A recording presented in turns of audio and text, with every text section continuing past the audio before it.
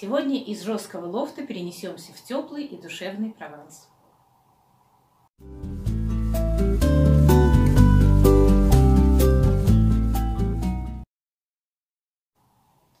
Здравствуйте, это канал «Теплые картины», канал о картинах из ткани, о том, как они создаются, о том, какое это прекрасное средство декора интерьера и как они смотрятся в интерьерах разных стилей. Сегодня у нас программа довольно обширная. Прованс – это мой любимый стиль в интерьере. Э, Вначале пару слов о том, что такое стиль Прованс, его основные характерные черты. Мой канал все-таки не канал о интерьерах, а канал о картинах, но это вещи вза взаимосвязаны, поэтому коротко о том, что такое Прованс, я э, скажу. Э, затем, как я уже сказала, поскольку это мой любимый стиль, то во время ремонта мы оформили часть своей квартиры в стиле Прованс, и сегодня я планирую провести для вас экскурсию по этой части квартиры и показать, какой получился Прованс у нас дома. Потом будет небольшой ролик, э, как я шила пейзаж Прованса. И под конец я э, решила вести новую рубрику, где буду рассказывать о мастерах арт-квилтинга. И сегодня будет рассказ о замечательной английской мастерице, я покажу ее работы. Прованс – это стиль дизайна интерьеров, который хорошо подходит как для оформления загородных домов, так и небольших квартир со стандартной планировкой. Он зародился во Франции в местечке Прованс. Основные его черты – отделка с помощью природных материалов – дерева, кирпича, камня. Цветовая палитра стиля, будто выгоревшая от долгого воздействия солнца, светлые пастельные тона. Мелкие цветочные орнаменты. Винтажная, состаренная или восстановленная мебель элегантных форм это обилие декора, художественной росписи, резьбы по дереву, плетения, вязания и шитья картин, а также обилие живых и сухих букетов, комнатных растений. Это легкие полупрозрачные шторы, обязательно присутствие кованых элементов, ажурных, тонких и изящных. Это глиняные керамические или фарфоровые детали декора, открытые стеллажи и полки с расставленными на них аксессуарами. Обычно стены в Провансе покрываются краской или штукатуркой, не скрывающими их естественных дефектов, неровностей и шероховатостей. Частично или полностью стены могут декорироваться кирпичной кладкой или выкладкой из натурального камня, а также выбеленными досками. На светлом фоне стен хорошо смотрятся любые предметы декора. Отлично смотрится ненавязчивый растительный орнамент на обоях – при этом допускается комбинирование отделки, например, одна из стен или даже только ее часть выкрашивается, обивается деревом или украшается росписью. Стиль загородного деревенского дома подчеркивают деревянные балки на потолке.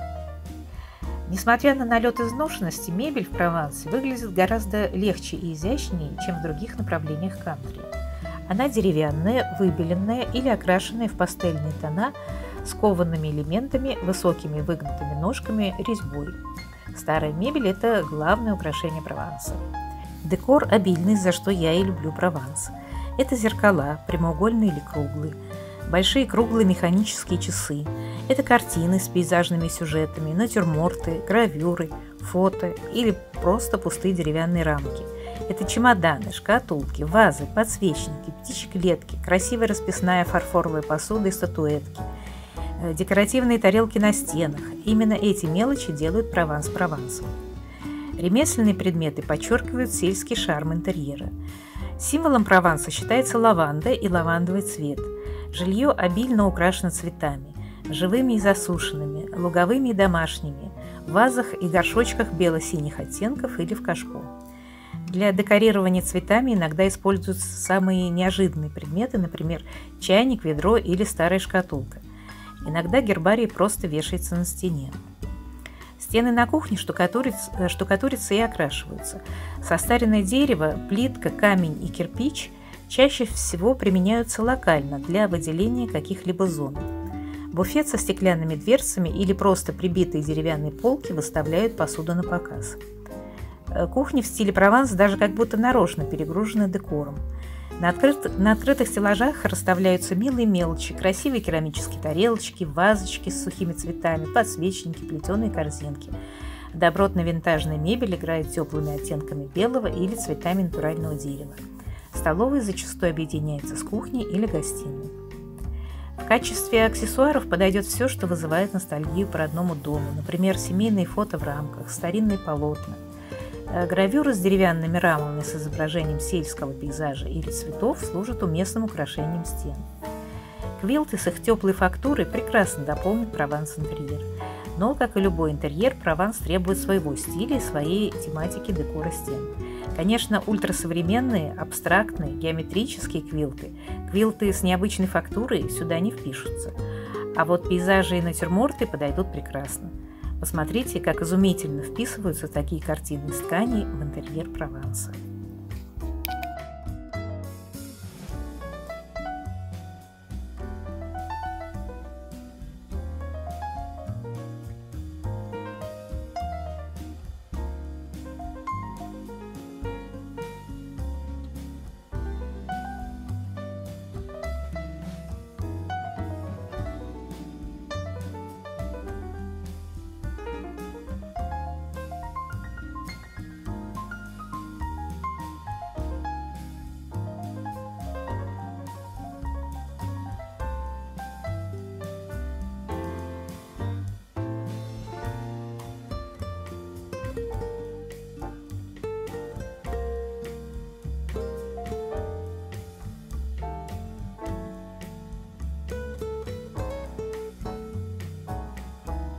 Следующим номером нашей программы экскурсии по квартире. Итак, начнем.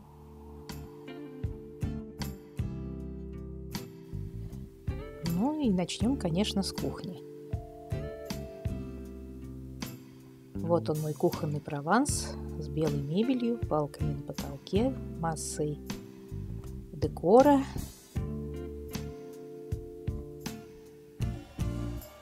узорчатой плиткой – под которую я специально сшила грелку на чайник. Она мне очень нравится.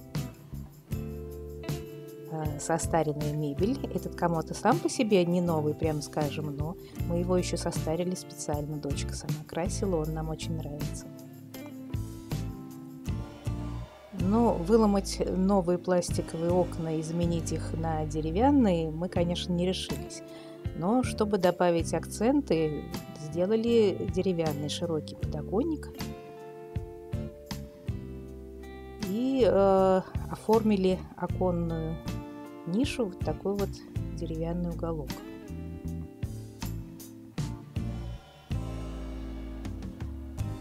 Но главным украшением окна, мне кажется, являются вот эти занавески. Они очень старинные. Нам их подарила наша бабушка, которая уже за 80 и сказала, что они лежат еще от ее бабушки. Это натуральный хлопок, и мне даже кажется, что это ручная вязка. В общем, это совершенно потрясающая вещь. Ну вот эти балки на потолке, которые создают впечатление загородного дома. Состаренная мебель, коврики на полу.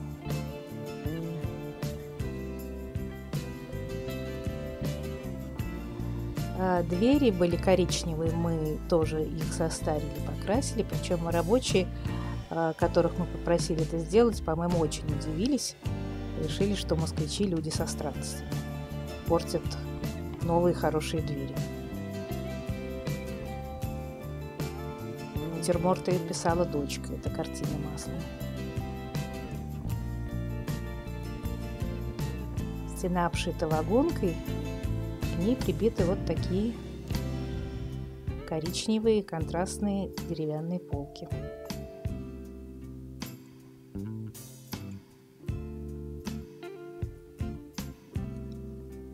Семейные фотографии повесила просто по движению души, не потому что это нужно для Прованса. Ну, теперь идем в коридор. Жуля, давай, веди нас, показывай. Здесь тоже балки. Одна стена обшита вагонкой и состаренные двери, другая стена покрыта неровной штукатуркой. Дочкин питерский пейзаж. А из декора здесь хочу показать свою коробку. Я сама ее шила, в ней сейчас э, храню свои платки в моем магазине на ярмарке мастеров это просто лидер по лайкам, опережает все мои картины. Для меня самой это загадка. называется «Лес друидов». Эта коробка называется «Достоевский», а это никак не называется. Ну, о своих коробках, о том, как я их шила, я думаю, сделаю отдельный ролик когда-нибудь. Но возвращаемся к декору. Декора здесь в прихожей тоже много, на открытых полках. Тоже балки на потолке и много картин, э, постеров и э, пейзажей масляной живописи. Зеркало тоже состаренное. Ну, ковка в виде бра и подставки для обуви.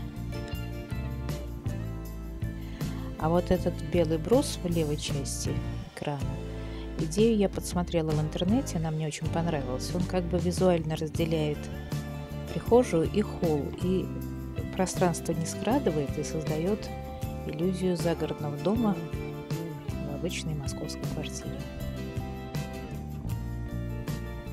В холле стены оформлены по-разному. Часть стен покрыта штукатуркой, часть покрашенной вагонкой до половины стены, а верхняя половина покрыта обоями. Это единственное место в квартире, где есть обои. Но это мой пейзаж. А эта картина, я думаю, заслуживает отдельного ролика. Это такие мои воспоминания о детских новогодних ожиданиях, сказочных и чудесных. Очень сложная э, картина по технике. Я думаю, не стоит сейчас наспех про нее рассказывать, потому что там действительно очень много всего. Вот. Я думаю, что действительно сделаю отдельный ролик. Смотрится на белой штукатурке она хорошо. Впрочем, любая картина на белой штукатурке смотрится хорошо. Мы сейчас продолжим рассматривать декор. Это картина дочки, натюрморт маслом. А это моя картина, которую я шил, называется «Старый грузинский городок». Это любимая из моих картин для меня. Заметьте, что не, блику, не бликует ни под каким углом. Это мои прабабушка и прадедушка, грузинские князья Милахвари. Фотография 1894 года. Фотография подлинная, не копия цифровая.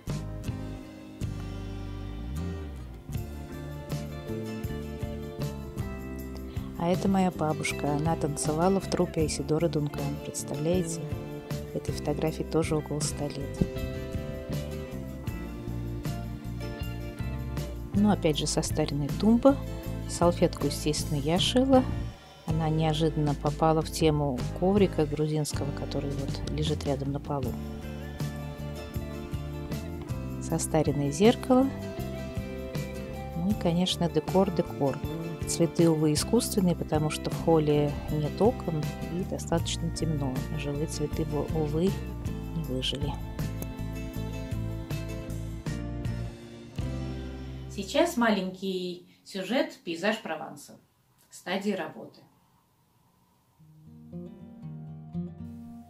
Эту работу я делала э, на заказ по фото из интернета.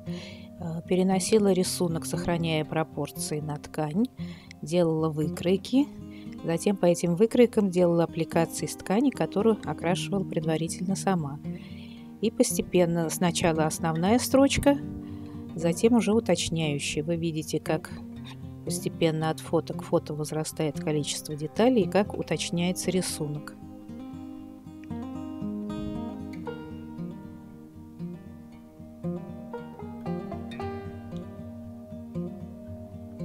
Кое-где аппликация из ткани, кое-где чистая вышивка. Мостовая – это практически сплошная только вышивка. Цветы тоже. И вот окончательный вариант. Сравните фото и работа. Э, теперь расскажу, как я уже обещала, о работах английской мастерицы. Ее зовут Барбара Шо. Э, я совершенно влюблена в ее творчество – Ее картины из ткани отличаются по технике исполнения от работ других мастеров, хотя у большинства мастеров, арт-квилтеров э, своя уникальная техника. Но работы Барбары отличаются тем, что она не прострачивает свои работы, а скрепляет лоскутки только отдельными легкими серыми стежками, достаточно э, удаленными друг от друга. Э, когда я впервые увидела ее работы в Пинтересте, я просто влюбилась в них с первого взгляда. Я бы определила это как такой э, текстильный импрессионизм. Вы сейчас сами это увидите. Работы очень Э, тонкие, художественные, собранные из большого количества мельчайших лоскутков. И вот сочетание этих лоскутков дает совершенно удивительные эффекты, эффекты перехода красок, тончайшие нюансы этих переходов видны. А, и э, создается ощущение, что это просто вот мазки красками, но красками текстильными. Это удивительно красивые картины. Сейчас вот мы общаемся уже с ней в Инстаграме, и э, каждый раз я не могу нахвалиться в комментариях на выходящие ее новые работы, потому что это действительно удивительная техника, очень тонкий художественный вкус. И хочу с вами поделиться. Обратите внимание на технику Барбары. Я сравнила бы ее с живописной техникой и мастихином. То есть здесь такой своеобразный текстильный мастихин, образно говоря, э, широкие текстильные свободные мазки, такие очень экспрессивные. Как я уже говорила, нет машинной вышивки, а только э, ручные стежки для скрепления лоскутов серыми нитками довольно далеко друг от друга изумительные старые английские издания, так тонко переданные.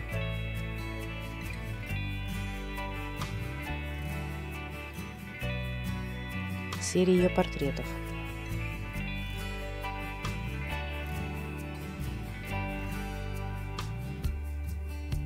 Я так понимаю, что это Боб Марли. А это сама Барбара и ее автопортрет.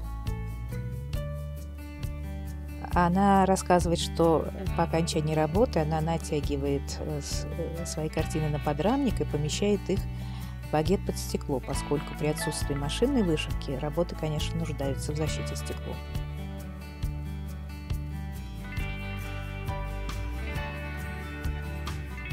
Серия совершенно очаровательных овечек, каждый со своим характером. Здесь и кружево, и шерсть, и вот такое очарование им придают эти шерстяные завитки.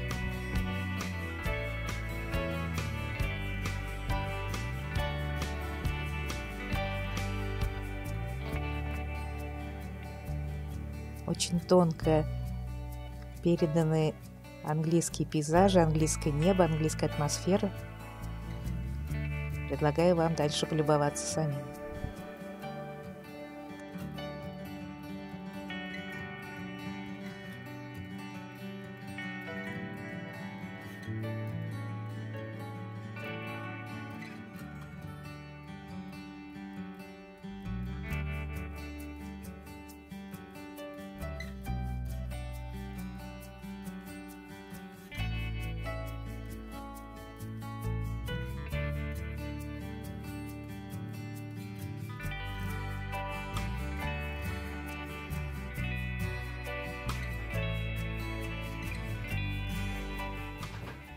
На этом наша программа на сегодня выполнена. А, я немного пропала, вы даже спрашивали меня в комментариях, но просто немного приболела. Сейчас выздоровела, все в порядке и с новыми силами берусь за работу. Ролики я собираюсь выпускать, а, ну не буду обещать, что раз в неделю, это все-таки очень трудоемкое дело, ролики для YouTube, но постараюсь раз в 10 дней и раз в 15 дней. А, вот. Еще YouTube ввел такую новую опцию, ну, она не совсем новая, но тем не менее. Раньше было доста- достаточно нажать на, на кнопку «Подписаться», если вас канал заинтересовал, а теперь еще там рядышком появился значок колокольчика. Если на него не нажать, то YouTube может и не показывать новые ролики того канала, на который вы подписаны. Поэтому, если вы хотите видеть мои новые ролики, проверьте, нажали ли вы на колокольчик. На этом спасибо вам большое. Э, прощаюсь. До нового ролика. a cá